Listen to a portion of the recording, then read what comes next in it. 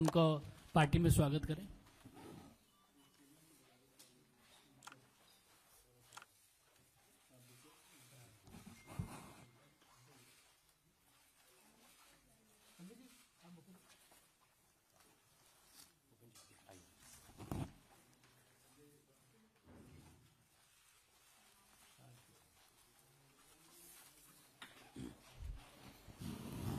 आदरणीय भूपेन्द्र जी से मेरा आग्रह है कि शब्दों के माध्यम से हाकिब जी का स्वागत करें। आज मैंने बीजेपी में हमारा पार्टी एनपीपी छोड़कर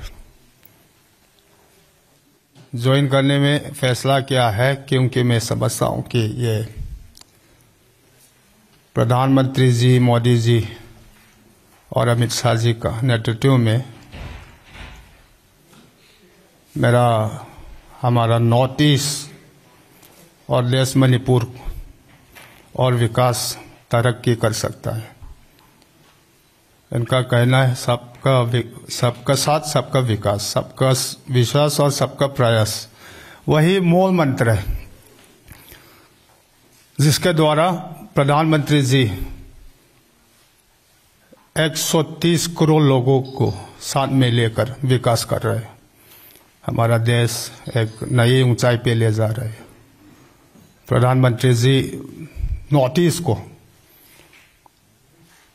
आस्था लक्ष्मी बनाने में और मणिपुर को भी खेल के साथ साथ नई क्षेत्र में ले जाने का संकल्प में सहयोग करने के लिए मैं इनका नेतृत्व में ग्रहण कर मैं आज पार्टी में शामिल हो जाने का फैसला लिया है।